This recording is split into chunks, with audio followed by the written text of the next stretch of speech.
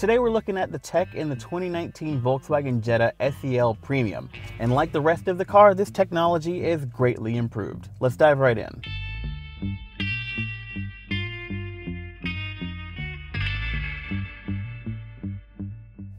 Now, since we're in the SEL Premium, we have what's called Volkswagen's Discover Media System. It's an 8-inch version of its in-dash technology that rolls in a large capacitive touchscreen and navigation.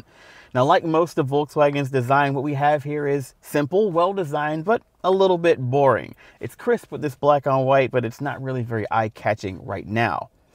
What I've noticed is that this does feel a little bit more responsive than some of the other Volkswagen systems that I've tested. Maybe there's some placebo happening there because things look so crisp, but it feels like I click around a lot faster. Now, while we're in here, let me show you some interesting things like the media sources we have access to. We've got a CD player in the glove compartment if you still use those. We've got two SD card slots, one of which is used for navigation data, a USB port, and Bluetooth audio.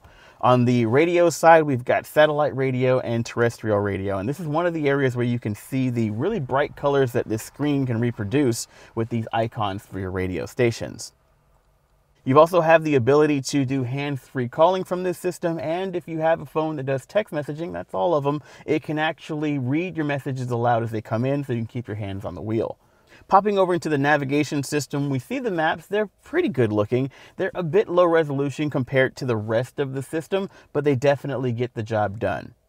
Now, one of the cool things about the navigation system is that you can push that button and pop the maps over into our digital cockpit instrument cluster. That's an option at lower levels, but standard here on the SEL Premium. Now, this is basically like a slightly dumbed down version of Audi's virtual cockpit.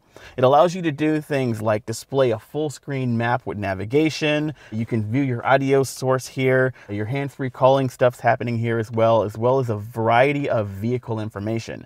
And you also have a couple of different views to choose from. The main screen is this full screen interface that just shows one thing. Right now we're showing a map, but if you tap the view button, you can bring in some secondary information on the side and tap again to bring in these digital representations of analog gauges. Now, one of the things about this system is that you can only show the maps here or in the Discover Media system. You can't show them in both. Audi system allows you to do both because it's got more horsepower, but this is a little simpler.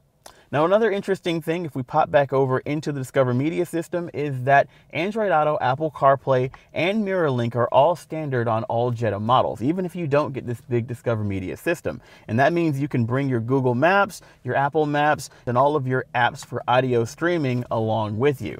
Now, one of the things that you can't do is if you're navigating with Google Maps or Apple Maps here, it will disable the map in the digital cockpit. It still does not allow that level of redundancy, even though it doesn't have to any harder. It's a little weird, but I can understand why they do it. Could this system use a little more bling or is less is more? Do you like it the way it is? Let us know in the comments down below. And while you're there, hit that subscribe button for even more cool videos from theroadshow.com.